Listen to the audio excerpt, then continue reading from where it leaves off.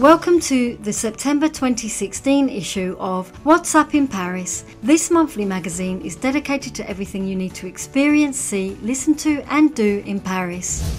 For lovers of design, Paris Design Week is set to turn the capital into a vast treasure hunt. From Saturday the 3rd to Saturday the 10th of September, there are 200 highly creative locations in five areas of the capital to be discovered over the week. For information about the circuit, maisonobjet.com FR Paris Design Week. Experience a night of lights at the Domaine National de Saint-Cloud, where Europe's biggest firework display takes place every year. A giant pyrotechnics show that will take place between 9pm and 11pm on September the 10th. Remember to arrive early as the display attracts up to 23,000 people. For further information about the event, legrandfeu.com. From the 10th to the 18th of September, art and antiques lovers shouldn't miss the Biennale des Antiques at the Grand Palais. It's an opportunity to see some masterpieces, jewellery, and objects selected by 150 of the world's leading galleries and private collectors and tour three exhibitions that will be a milestone in the history of the Biennale the Hermitage Museum, National Furniture Collection, and the Foundation de Haute Horlogerie watchmaking exhibitions. For further information, biennaleparis.com. From the 21st of September, be among the first to visit the exhibition dedicated to the works of René Magritte, entitled The Betrayal of Images. It takes place at the Georges Pompidou Centre, and you'll be able to see 100 paintings, drawings, and archived documents concerning one of the leading figures of modern art. To book your places, centrepompidou.fr.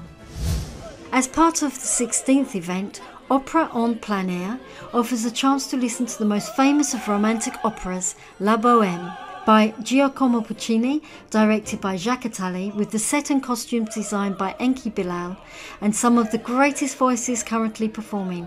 In short, a very special evening in prospect between the 6th and the 10th of September in one of the finest venues in the capital, the courtyard of the Hotel des Invalides. To book, operaenpleinair.com. At the Palais de Congrès on the 24th and the 25th of September, music and film lovers should definitely not miss the opportunity to hear one of the great film music composers of modern era. Ennio Morricone, supported by over 200 musicians and singers, to listen to the music from Once Upon a Time in the West, The Good, the Bad and the Ugly, and the Sicilian Clan, and Chi Mai, Book your seat now on enniomorricone.org and take the opportunity to listen to some of his hits.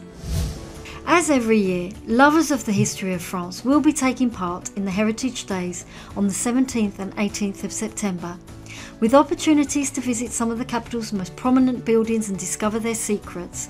For example, the Bank of France, the French Academy, the Republican Guard, etc. For full details of the programme and to organise your visits, go to journeesdupatrimoine.culturecommunication.gouv.fr. Take part in the Festival of Gastronomy all over Paris from the 23rd to the 25th of September. On the programme, chefs come down into the streets and offer the public a very special and delicious moment. Tastings, visits, and unusual events are organised to tickle the taste buds and of the children's and the adults, a must for foodies. Go to economy.gov.fr, Fête Gastronomie Actuelle.